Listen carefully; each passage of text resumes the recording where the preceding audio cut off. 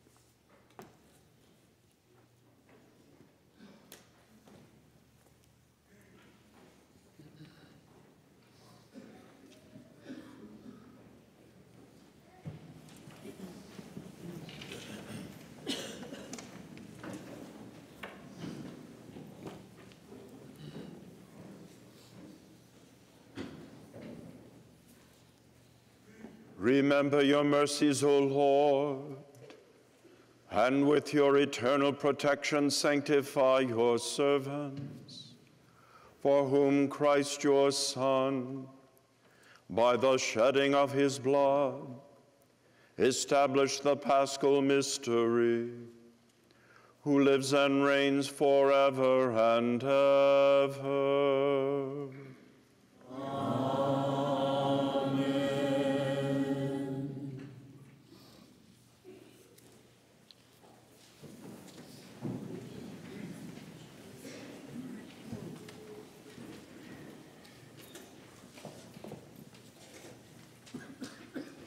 Reading from the book of the prophet Isaiah.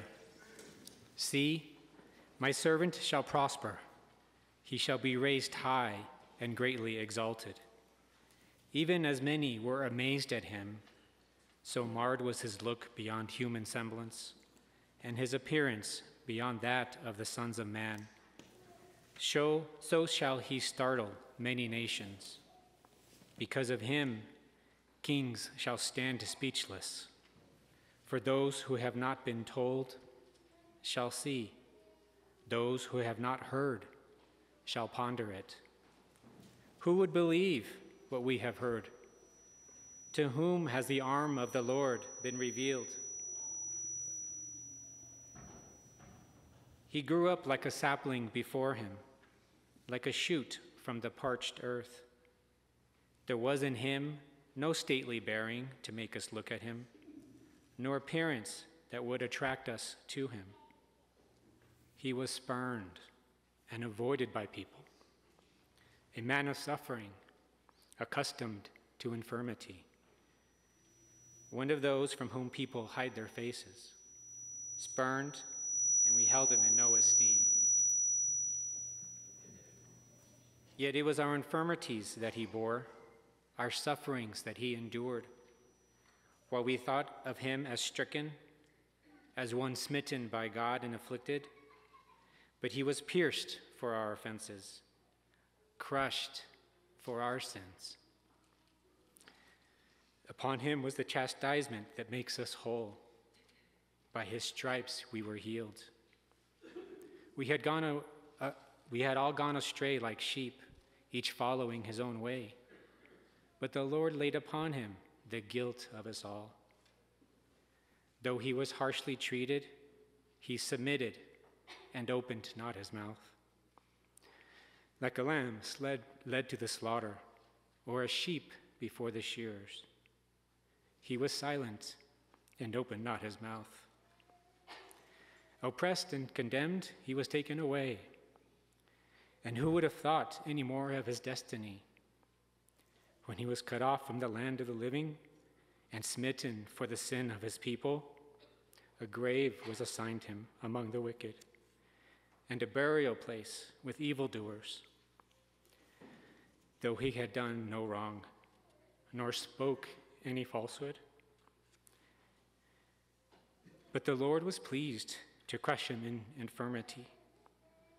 If he gives his life as an offering for sin, he shall see his descendants in a long life, and the will of the Lord shall be accomplished through him. Because of his affliction, he shall see the light in fullness of days. Through his suffering, my servant shall justify many, and their guilt he shall bear. Therefore, I will give him his portion among the great, and he shall divide the spoils with the mighty, because he surrendered himself to death, and he was counted among the wicked. And he shall take away the sins of many and win pardon for their offenses. The word of the Lord. Thanks be to God.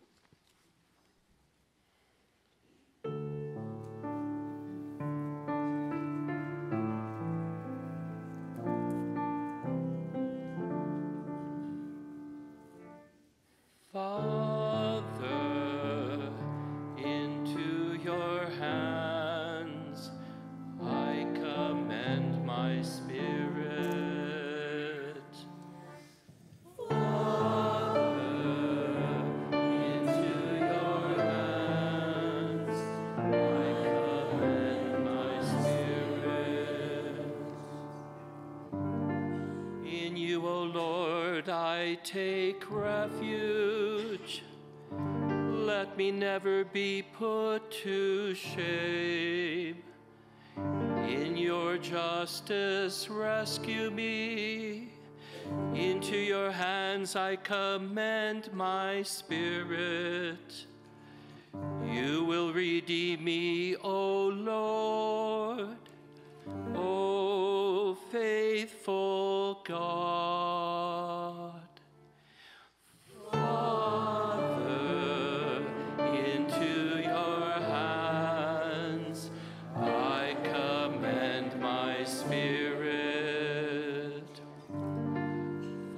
My foes I am an object of reproach a laughing stock to my neighbors, and a dread to my friends. They who see me abroad flee from me. I am forgotten like the unremembered dead. I am like a dish that is broken. Father, into your hands I commend my spirit. But my trust is in you, O Lord. I say you are my God. In your hands is my destiny. Rescue me from the clutches of my enemies and my persecutors. Father, into your hands I commend my spirit. Let your face shine upon your servant. Save me in your kindness. Take courage and be stout hearted, all you who hope in the Lord. Father, into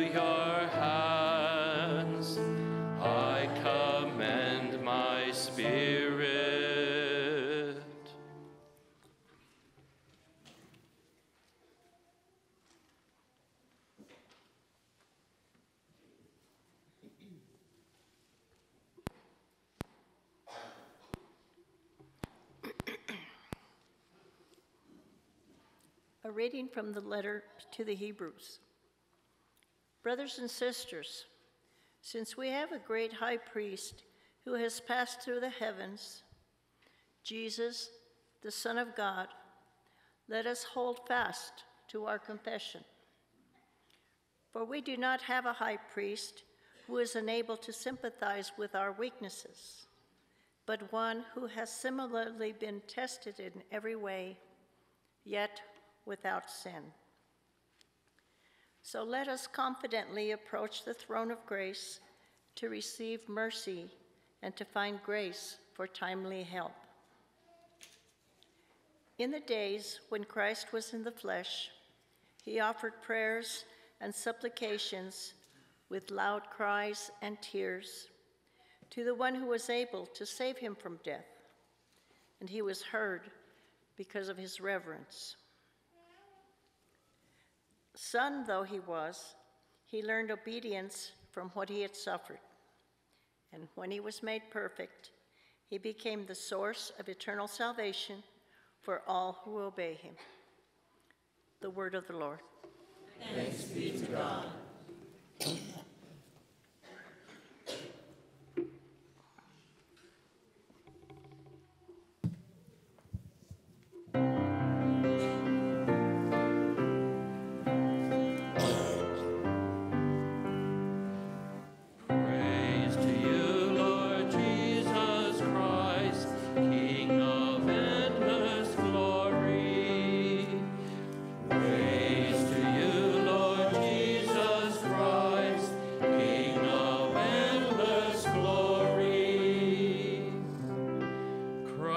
became obedient to the point of death, even death on a cross.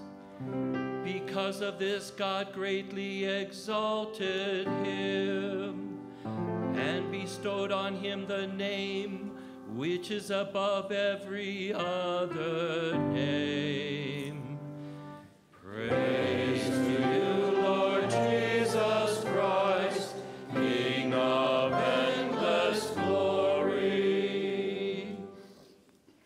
of the Passion, you will take the mark, the sign of the sea crowd. The Lord be with you. A reading from the Holy Gospel according to John.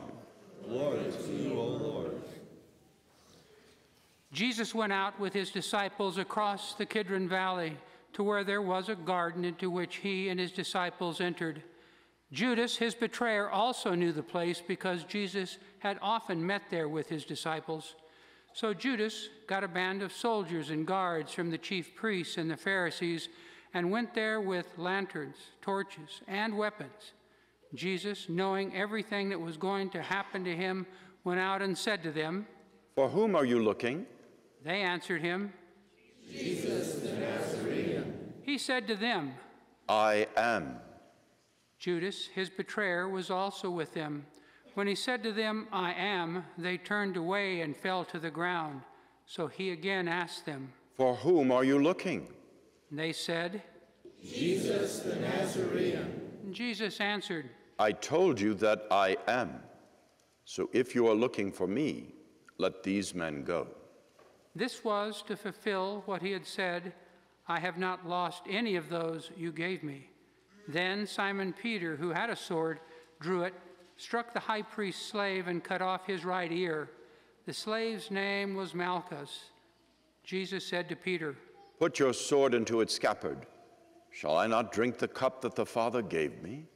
So the band of soldiers, the tribune, and the Jewish guards seized Jesus, bound him, and brought him to Annas first. He was the father in law of Caiaphas, who was high priest that year. It was Caiaphas who had counseled the Jews that it was better that one man should die rather than the people. Simon Peter and another disciple followed Jesus. Now the other disciple was known to the high priest, and he entered the courtyard of the high priest with Jesus. But Peter stood at the gate outside. So the other disciple, the acquaintance of the high priest, went out and spoke to the gatekeeper and brought Peter in. Then he made who then the maid who was the gatekeeper said to Peter, You are not one of this man's disciples, are you? he said, I am not. Now the slaves and the guards were standing around a charcoal fire that they had made because it was cold, and, were, and they were warming themselves. Peter was also standing there, keeping warm. The high priest questioned Jesus about his disciples and about his doctrine. Jesus answered him. I have spoken publicly to the world. I have always taught in a synagogue or in the temple area where all the Jews gathered, and in secret I have said nothing. Why ask me? Ask those who heard me what I said to them. They know what I said. When he had said this, one of the temple guards standing there struck Jesus and said, Is this the way you answer the high priest? Jesus answered him, If I have spoken wrongly, testify to the wrong. But if I have spoken rightly, why do you strike me? Then Annas sent him bound to Caiaphas the high priest. Now Simon Peter was standing there keeping warm, and they said to him, You are not one of his disciples, are you? He denied and said, I am not. One of the slaves of the high priest, a relative of the one whose ear Peter had cut off, said, Didn't I see you in the garden with him? Again, Peter denied it, and immediately the cock crowed. Then they brought Jesus from Caiaphas to the praetorium. It was morning, and they themselves did not enter the praetorium in order not to be defiled so that they could eat the Passover. So Pilate came out to them and said, What charge do you bring against this man? They answered and said to him, If he were not a criminal, we would not have handed him over to you. At this, Pilate said to them, Take him yourselves and judge him according to your law. The Jews answered him, We do not have the right to execute anyone. in order that the word of Jesus might be fulfilled that he said, indicating the kind of death he would die. So Pilate went back into the praetorium and summoned Jesus and said to him, Are you the king of the Jews? and Jesus answered, Do you say this on your own, or have others told you about me? Pilate answered, I am not a Jew, am I? Your own nation and the chief priest handed you over to me. What have you done? Jesus answered, My kingdom does not belong to this world.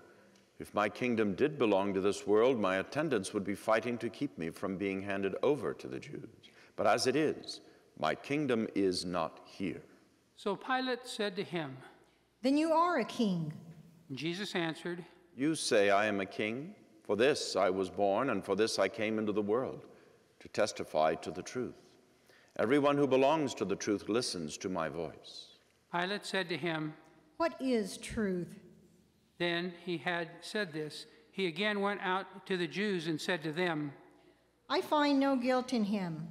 But you have a custom that I release one prisoner to you at Passover. Do you want me to release to you the king of the Jews? They cried out again. Not this one, but Barabbas. Now Barabbas was a revolutionary. Then Pilate took Jesus and had him scourged. And the soldiers wove a crown out of thorns and placed it on his head and clothed him in a purple cloak. And they came to him and said, Hail, King of the Jews. And they struck him repeatedly. Once more Pilate went out and said to them, Look, I am bringing him out to you, so that you may know that I find no guilt in him. So Jesus came out wearing the crown of thorns and the purple cloak.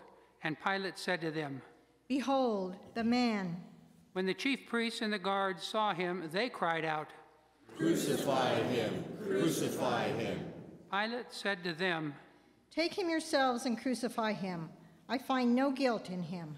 The Jews answered, We have a law, and according to that law, he ought to die, because he made himself the Son of God.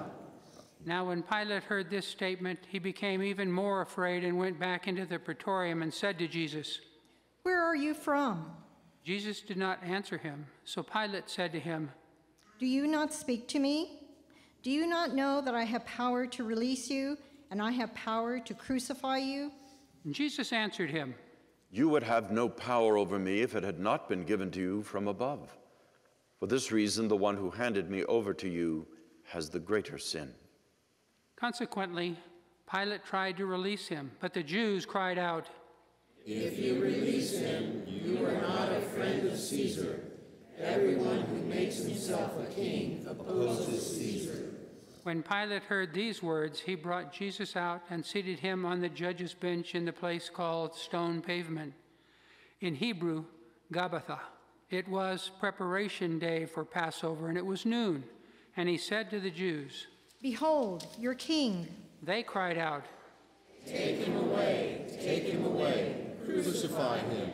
Pilate said to them, Shall I crucify your king? The chief priests answered, We have no king but Caesar. Then he handed him over to them to be crucified. So they took Jesus, and carrying the cross himself, he went out to what is called the place of the skull, in Hebrew, Golgotha, where they crucified him, and with him two others, one on either side, with Jesus in the middle. Pilate also had an inscription written and put on the cross. It read, Jesus the Nazarene, the King of the Jews. Now, many of the Jews read this inscription because the place where Jesus was crucified was near the city, and it was written in Hebrew, Latin, and Greek. So the chief priests of the Jews said to Pilate,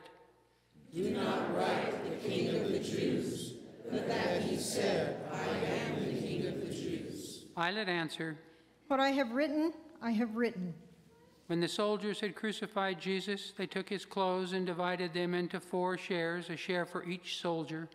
They also took his tunic, but the tunic was seamless, woven in one piece from the top down. So they said to one another, Let's not tear it, but cast lots for it, to see whose it will be. in order that this passage of Scripture might be fulfilled that said, They divided my garment among them, and for my vesture they cast lots. This is what the soldiers did. Standing by the cross of Jesus were his mother and his mother's sister, Mary, the wife of Clopas, and Mary of Magdala. When Jesus saw his mother and the disciple there whom he loved, he said to his mother, Woman, behold your son. Then he said to his disciple, Behold your mother. And from that hour, the disciple took her into his home. After this, aware that everything was now finished, in order that the scripture might be fulfilled, Jesus said, I thirst. There was a vessel filled with common wine. So they put a sponge soaked in wine on a sprig of hyssop and put it up to his mouth. When Jesus had taken the wine, he said, It is finished. and bowing his head, he handed over the Spirit.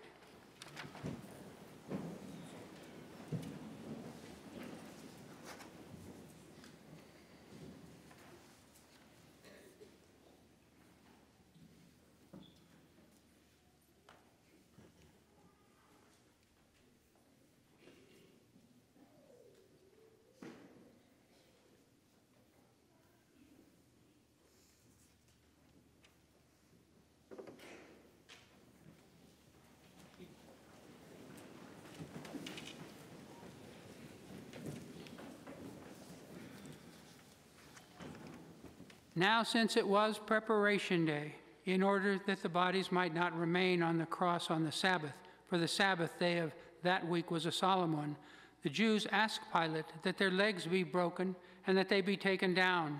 So the soldiers came and broke the legs of the first and then of the other one who was crucified with Jesus. But when they came to Jesus and saw that he was already dead, they did not break his legs. But one soldier thrust his lance into his side, and immediately blood and water flowed out. An eyewitness has testified, and his testimony is true. He knows that he is speaking the truth, so that you also may come to believe. For this happened so that the scripture passage might be fulfilled. Not, of bone of it, not a bone of it will be broken. And again, another passage they will look upon him whom they have pierced. After this, Joseph of Arimathea, secretly a disciple of Jesus for fear of the Jews, asked Pilate if he could remove the body of Jesus, and Pilate permitted it. So he came and took his body. Nicodemus, the one who'd first come to him at night, also came bringing a mixture of myrrh and aloes, weighing about 100 pounds. They took the body of Jesus and bound it with burial cloths along with the spices, according to the Jewish burial custom. Now, in the place where he had been crucified, there was a garden, and in the garden a new tomb in which no one had yet been buried. So they laid Jesus there because of the Jewish preparation day, for the tomb was closed.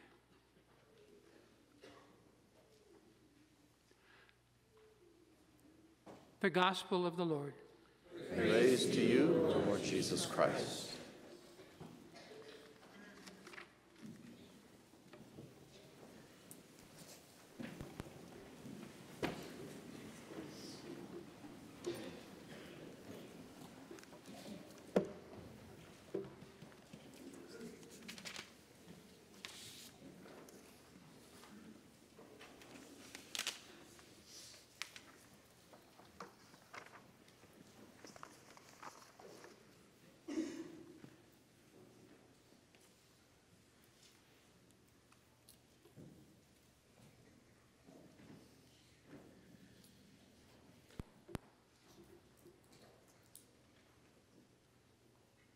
If you wish to follow after me, Jesus said, take up your cross.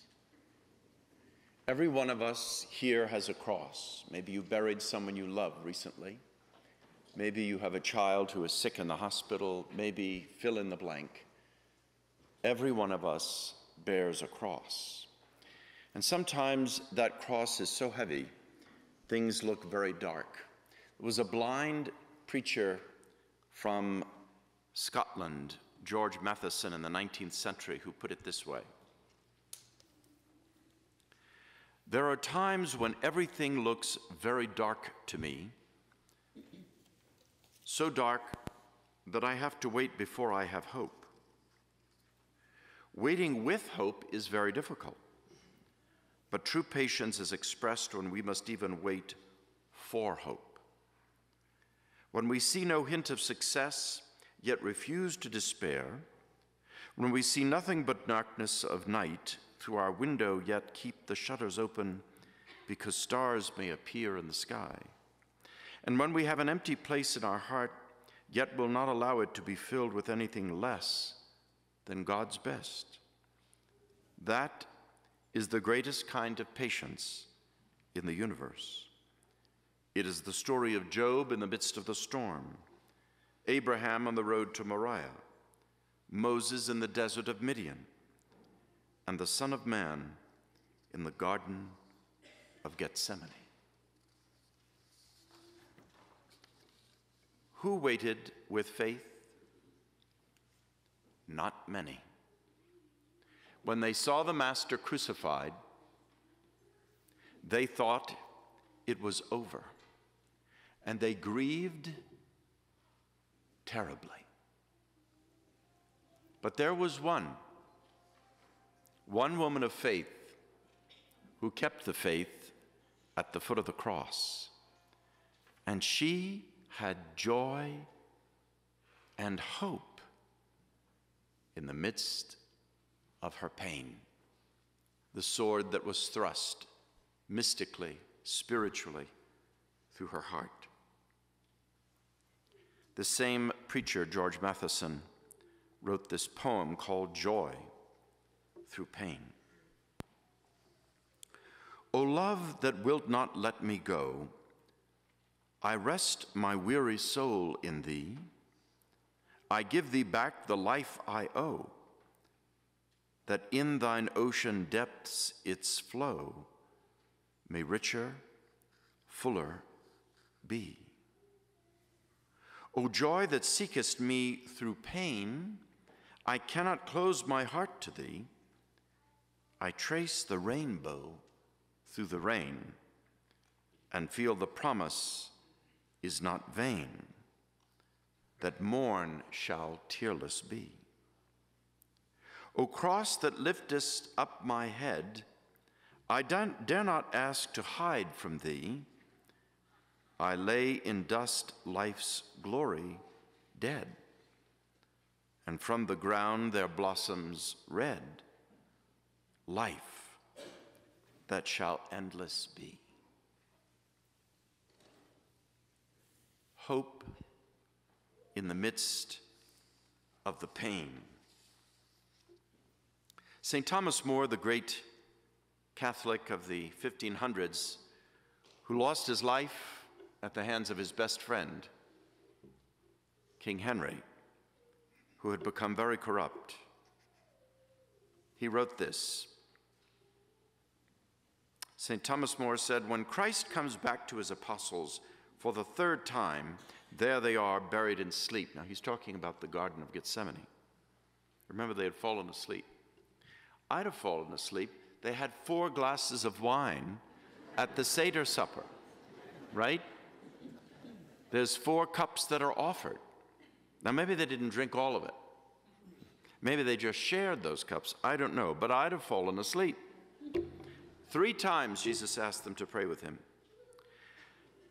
And this is what Sir Thomas More said Judas the traitor at the same time was so wide awake and intent on betraying the Lord that the very idea of sleep never entered his mind.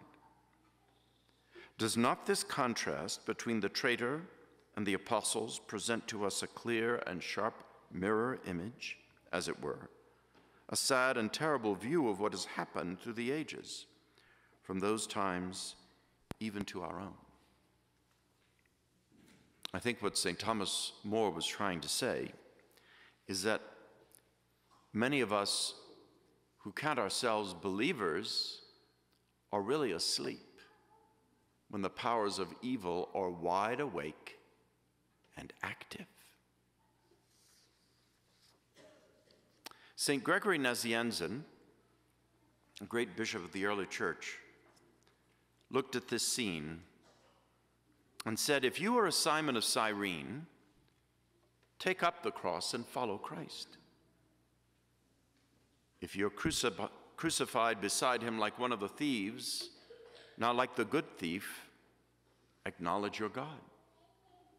For your sake and because of your sin, Christ himself was regarded a sinner. For his sake, therefore, you must cease to sin. Worship him who was hung on the cross because of you, even if you're hanging there yourself. Derive some benefit from the very shame. Then enter paradise with Jesus and discover how far you have fallen. Contemplate the glories there and leave the other scoffing thief to die outside. If you're a Joseph of Arimathea, go to the one who ordered his crucifixion and ask for Christ's body. If you are a Nicodemus like the man who worshiped God by night, bring spices and prepare Christ's body for burial. If you are one of the Marys or Salome or Joanna, weep, weep in the early morning and be the first to see the stone rolled back. There's a great hymn from the early church called Vexilla Regis, the standard of the King, the flag of Christ. And this is how it goes Behold the standard of our King. The cross gleams forth its mystery. On it, the Son of God as man atoned on earth for sinners all. His side was pierced by cruel lance that drew out water with his blood to cleanse our souls from every stain and nourish them with its pure stream. O tree that shines with beauty rare, and ennobled by Christ's precious blood, he chose you as the royal bed to rest his sacred limbs in death. O blessed were your rugged arms from which the whole world's ransom hung. You bore the weight of sacrifice that snatched from greedy hell its prey. Hail, holy altar, victim, hail, for all the glory of that cross by which life chose and welcomed death, and dying gave us life once more. Hail, Holy Cross, our only hope. Wash all our guilt and crimes away. Increase our grace while we adore in honor of your victory forever and ever. Amen.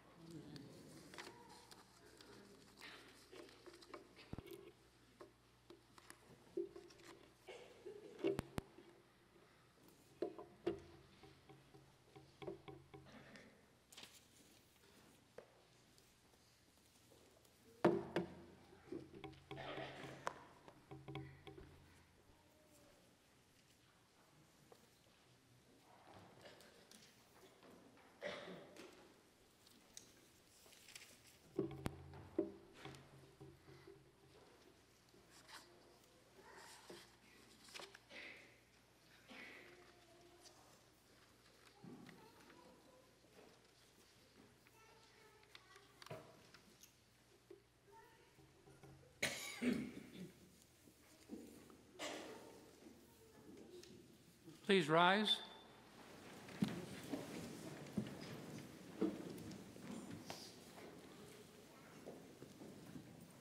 Let us pray, dearly beloved, for the Holy Church of God, that our God and Lord be pleased to give her peace, to guard her, and to unite her throughout the whole world, and grant that leading our life in tranquility and quiet, we may glorify God the Father Almighty.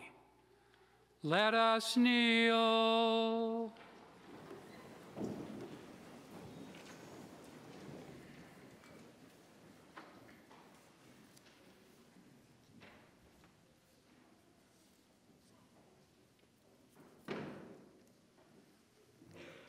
Almighty and ever living God, who in Christ revealed your glory to all nations, watch over the works of your mercy, so that your church spread throughout the world may persevere with steadfast faith in confessing your name. Through Christ our Lord. Amen.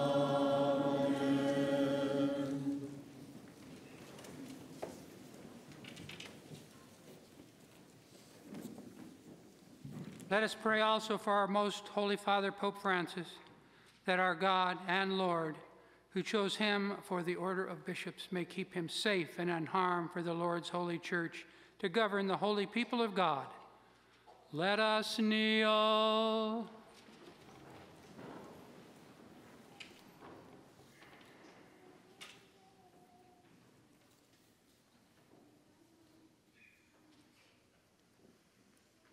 Almighty and ever living God, by whose decree all things are founded, look with favor on our prayers, and in your kindness protect the Pope chosen for us, that under him the Christian people, governed by their Maker, may grow in merit by reason of their faith. Through Christ our Lord.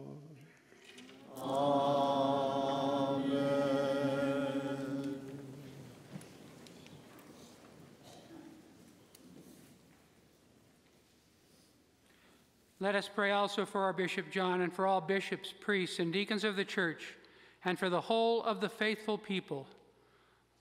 Let us kneel.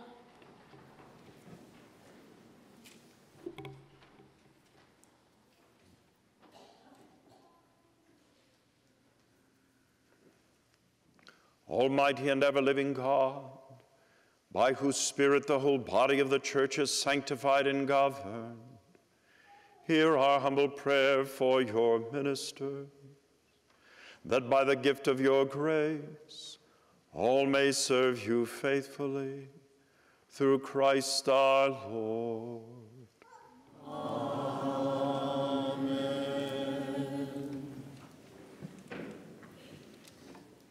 Let us pray also for our catechumens, that our God and Lord may open wide their ears of their innermost hearts and unlock the gates of his mercy, that, having received forgiveness of all their sins through the waters of rebirth, they too may be one with Christ Jesus our Lord. Let us kneel.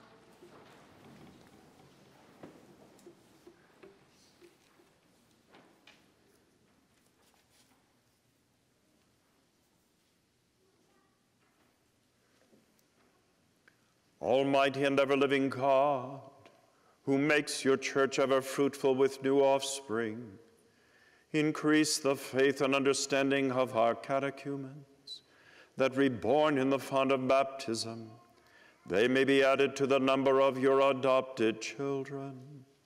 Through Christ our Lord.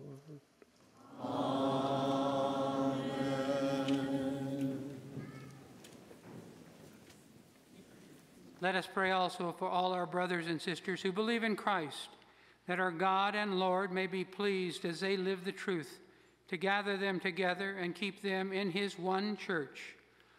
Let us kneel.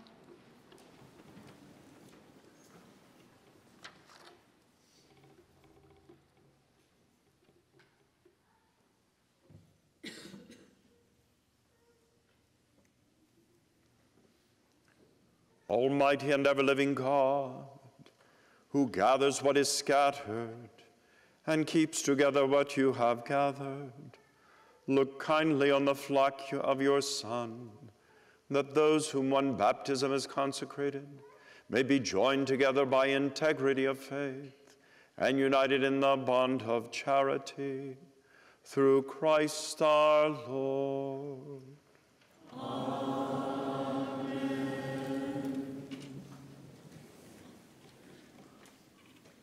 Let us pray also for the Jewish people to whom the Lord our God spoke first, that he may grant them to advance in love of his name and in faithfulness to his covenant. Let us kneel.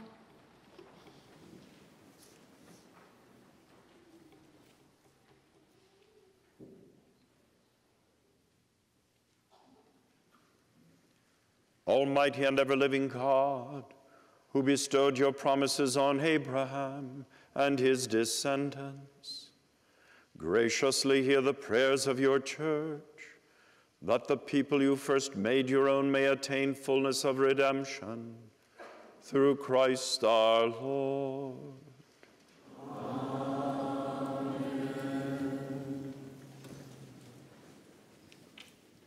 Let us pray also for those who do not believe in Christ, that, enlightened by the Holy Spirit, they too may enter on the way of salvation. Let us kneel.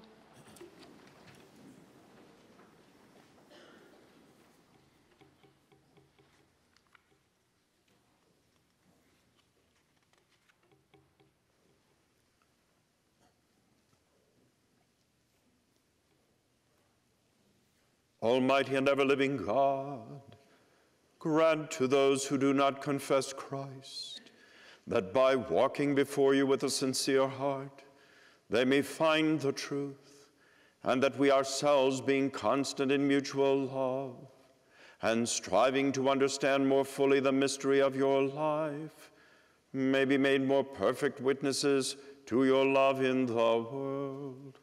Through Christ our Lord.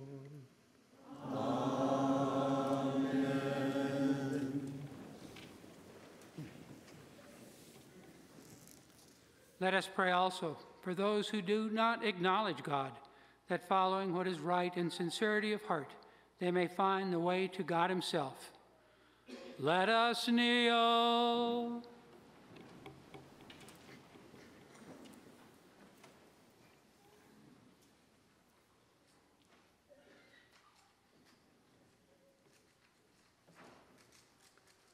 Almighty and ever living God, who created all people to seek you always by desiring you and by finding you.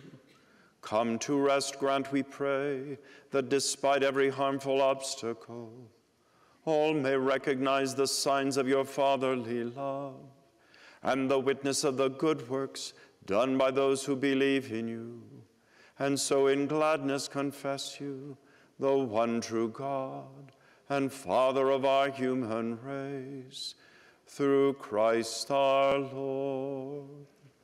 Amen.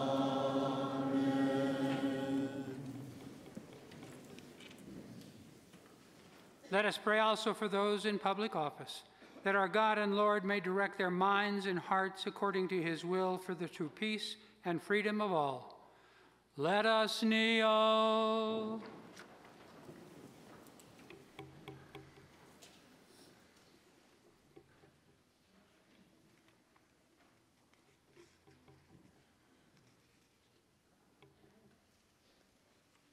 Almighty and ever living God, in whose hand lies every human heart and the rights of peoples, look with favor, we pray, on those who govern with authority over us, that throughout the whole world, the prosperity of peoples, the assurance of peace, and freedom of religion may, through your gift, be made secure. Through Christ our Lord.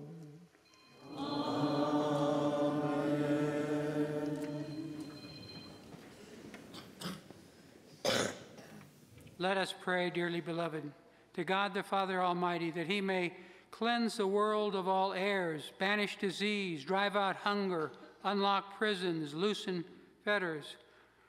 granting to travelers safety, to pilgrims return, health to the sick, and salvation to the dying. Let us kneel.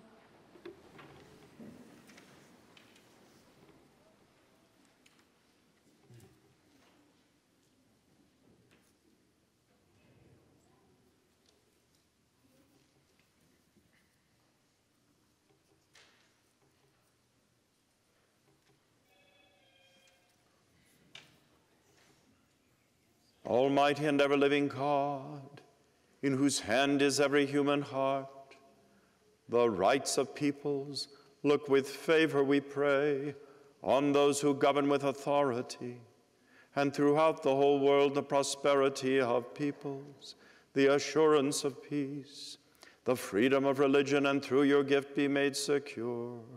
Through Christ our Lord.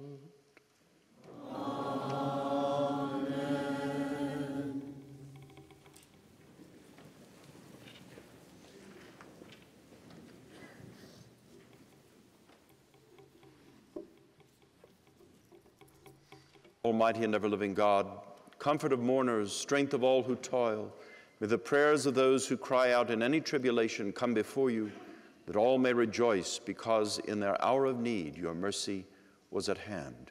Through Christ our Lord. Amen. You may be seated until the cross comes before you.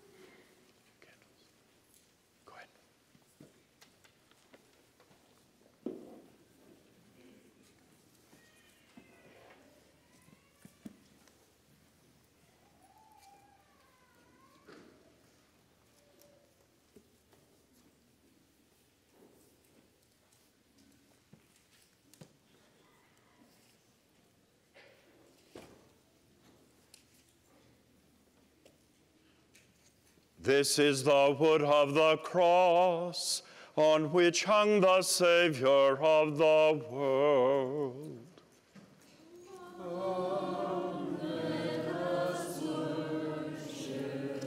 Raise it up high. Raise it up high.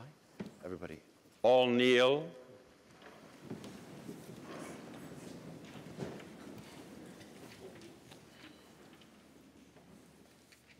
Okay, take it down. May have to use two hands so it doesn't fall. No, no, not further down. Okay, tell them to go forward. Okay, go ahead. Forward, boys, forward. This is the wood of the cross on which hung the Savior of the world.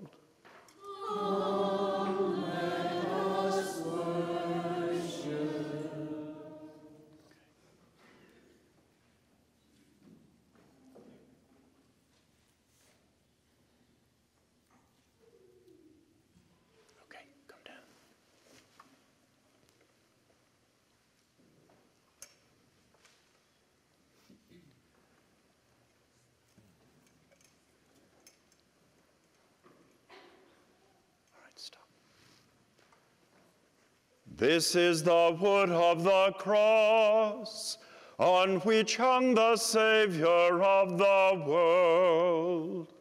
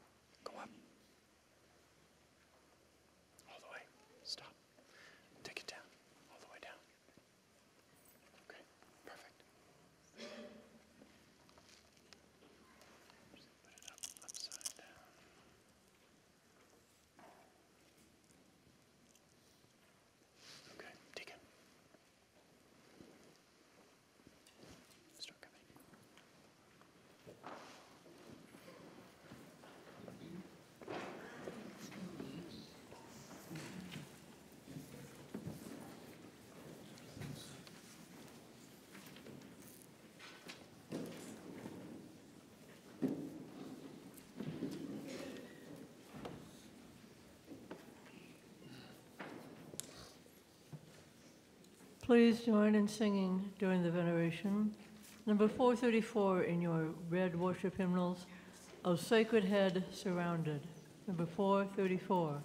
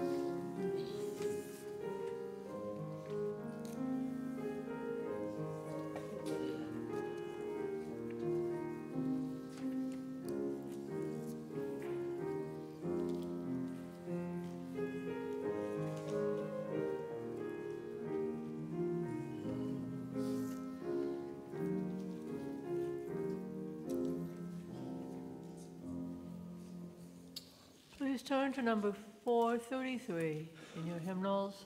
When I survey the wondrous cross.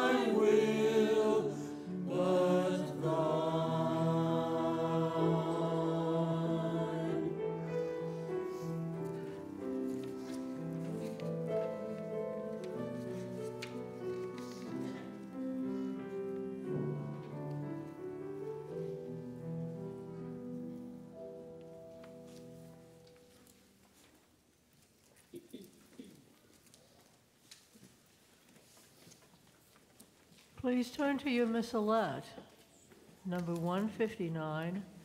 Were you there?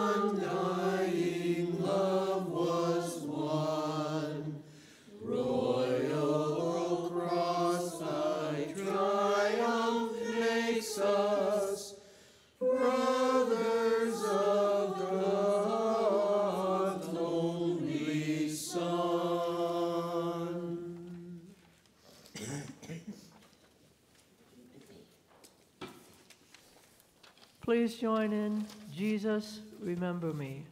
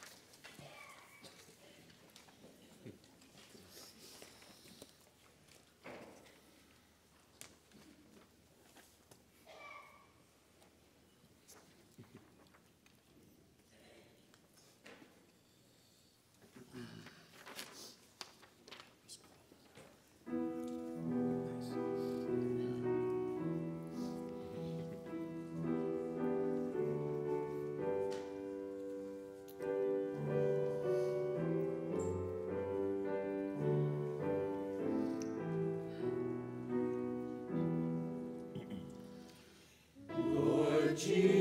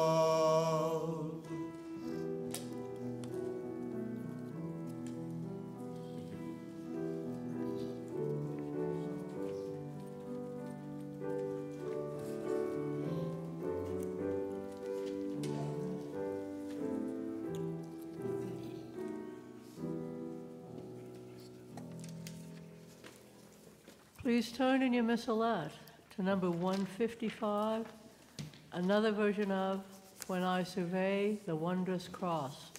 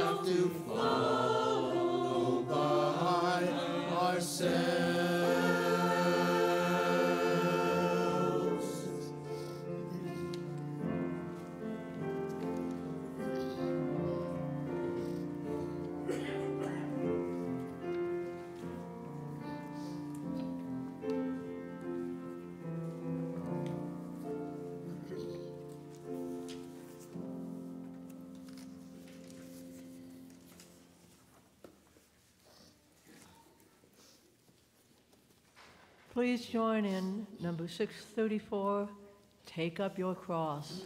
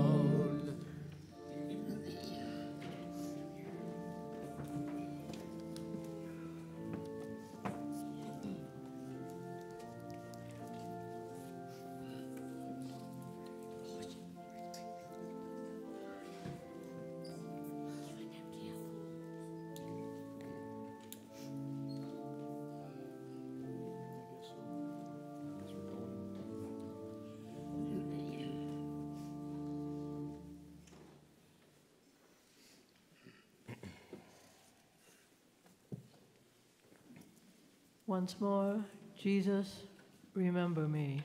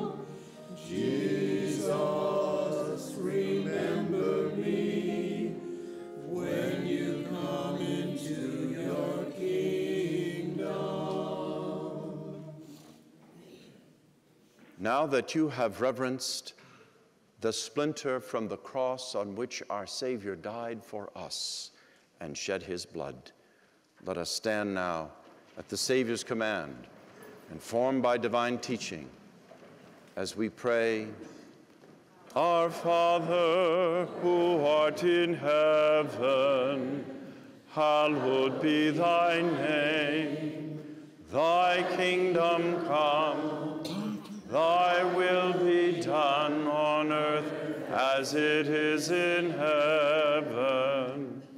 Give us this day our daily bread, and forgive us our trespasses, as we forgive those who trespass against us. And lead us not into temptation, but deliver us from evil. Deliver us, Lord, we pray, from every evil. Graciously grant peace in our days, that by the help of your mercy we may be always free from sin and safe from all distress, as we await the blessed hope and the coming of our Savior Jesus Christ.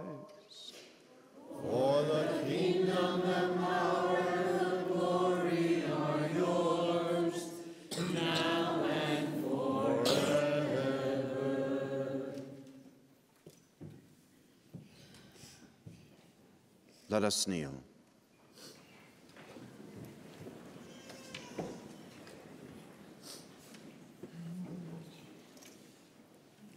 Behold the Lamb of God.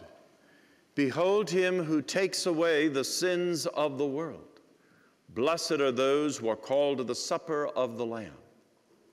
Lord, I am not worthy that you should enter under my roof, but only say the word, and my soul shall be healed.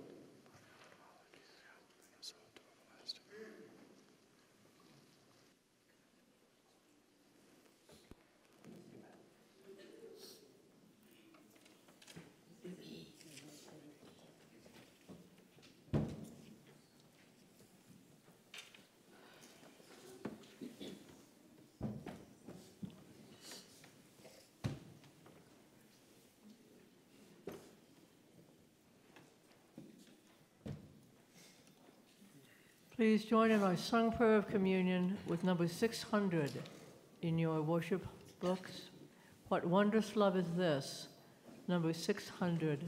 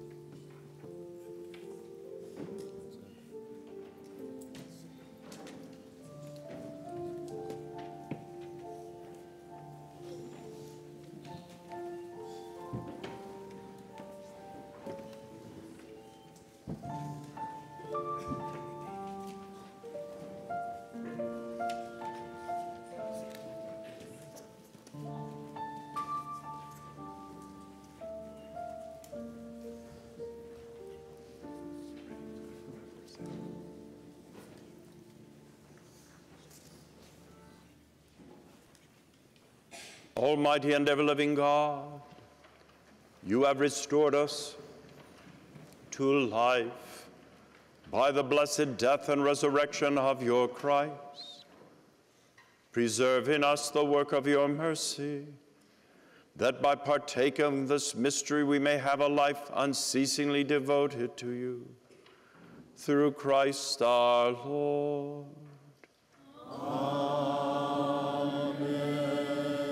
Bow down for the blessing. May abundant blessings, O Lord, we pray, descend upon your people who have honored the death of your Son in the hope of their resurrection. May pardon come, comfort be given, holy faith increase, and everlasting redemption be made secure. Through Christ our Lord. Praise